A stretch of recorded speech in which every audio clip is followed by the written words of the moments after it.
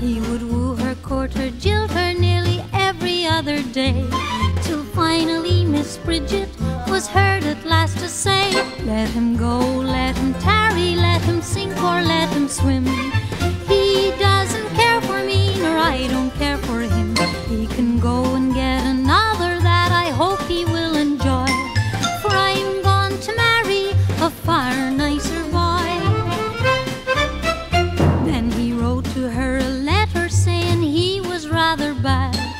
Sent him back an answer saying she was very glad. Then he wrote to her another saying he was well and strong.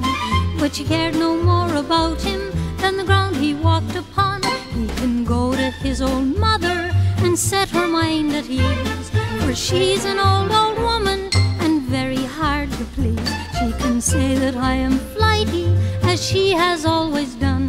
Cause I don't want to marry her great big ugly